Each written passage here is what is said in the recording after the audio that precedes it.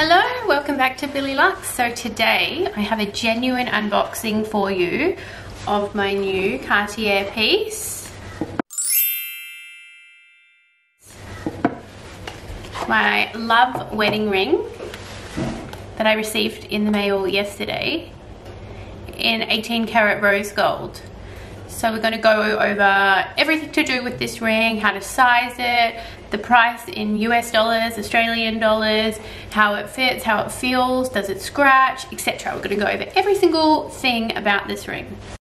My channel is all about my love of luxury items and designer items and fashion. So if those are the sort of things that you like watching on YouTube, please consider subscribing to my channel. You can click the link below, or you can find the link in my description. So because I am in Australia, we're currently in lockdown, so we can't go shopping, we can't go to the boutique.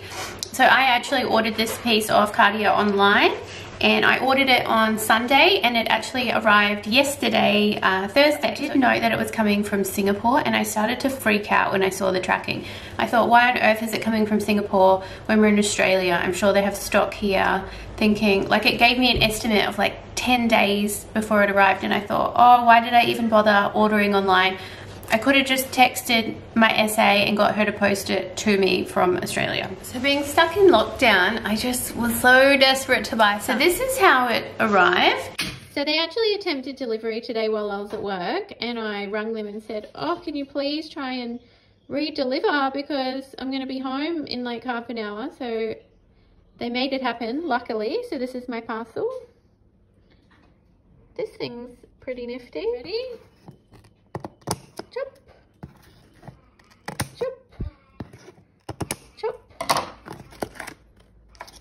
Oh, I can't wait to open it. Hey.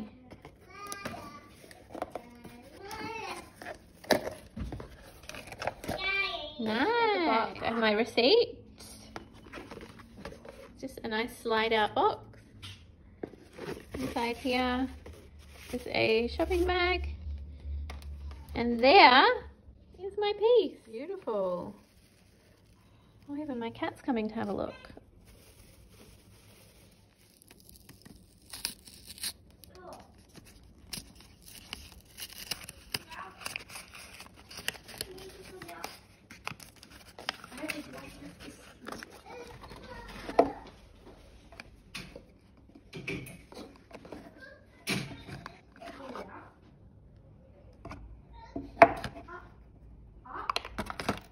Ready for the big reveal? Beautiful. Wow, so nice.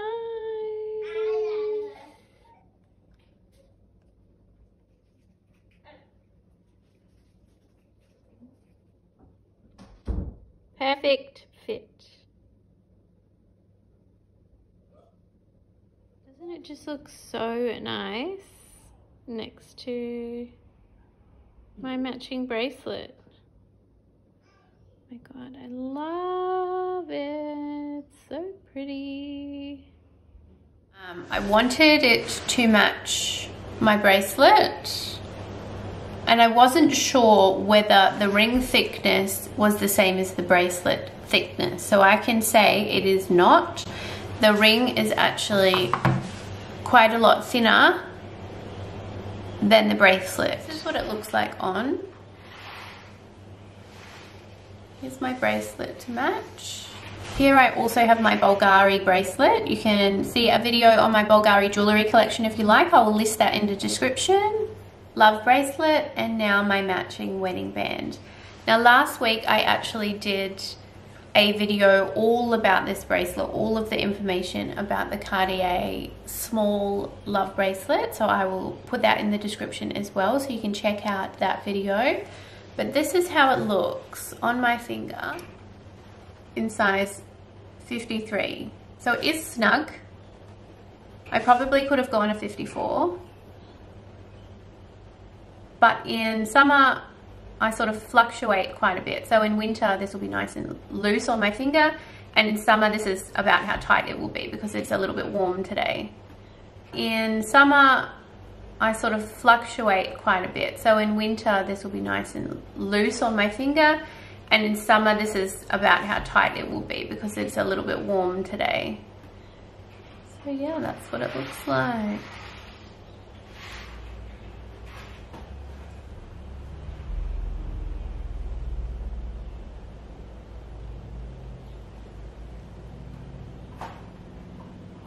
Now I just want to show you the difference in colouring.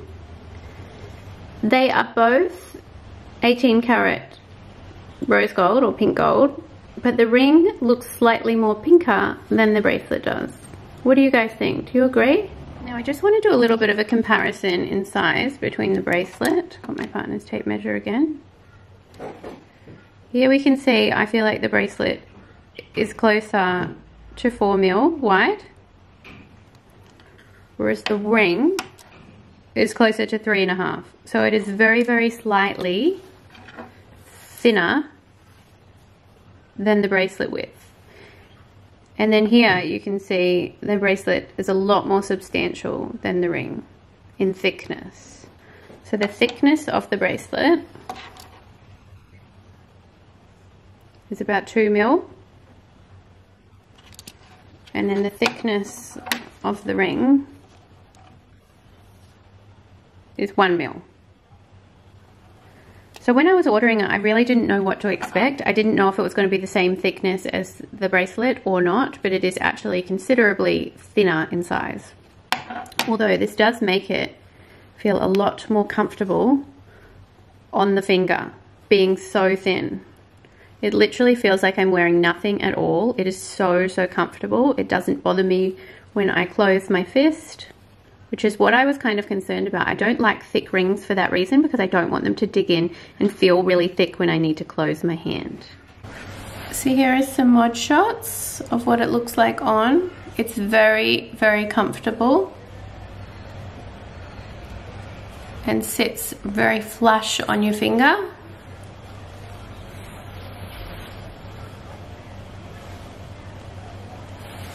Now I paid 1,690 Australian dollars for this ring in 18 karat rose gold. Now that is the same price for rose gold or yellow gold. White gold version is slightly more expensive. It is 1,810 Australian dollars. In US dollars for the yellow gold or the rose gold version, I have it on my phone, is 1,170 US dollars excluding tax and 1,250 US dollars for the white gold version, excluding tax. Now I just love the way that Cartier does this. I mean, this is just, I feel like it is so special. Hot wax. And they stamp it. And it looks so cool. Same on the other side. It's just that real beautiful touch that they have. I mean, I love it. I just feel like that's so special. Now, can I tell you, the size guide on the Cartier website for these rings is really difficult compared to the bracelet size guide. Bracelet was super, super easy to measure. Ring, really difficult. So I tried to do it online on their um, on their size guide sheet. I tried to like Google it. I ended up looking up a few YouTube videos to try and figure out what size you know, I could possibly be because I thought we are in lockdown. I can't just go back to the store if it doesn't fit. So my tips for trying to figure out your size. I have an iMac computer with a big screen. So I ended up opening up, I don't have a printer. So how, you know, I couldn't print the piece of paper. So on my computer, I zoomed the size guide up like a hundred something percent so that it was the size of an A4 piece of paper. Now I held an A4 piece of paper up to my computer screen so that it was that exact width and then um, all of the rings like the circles on the size guide of all the different sizes I then was able to hold up a ring to my computer screen that I knew fitted the finger that I was trying to size and it fit perfectly around the picture that way. So if you have a computer that you are able to zoom their size guide up, if you don't have a printer and you can't print it, zoom it up to be the size of an A4 piece of paper um, widthways and then all of the circles with the different sizes, you should be able to put one of your rings that you know fits you up to that screen and measure it exactly. So pretty much it was an exact match. Um, it covered the dark. There was a tiny, tiny, tiny little bit of white around the outside and then there was my ring.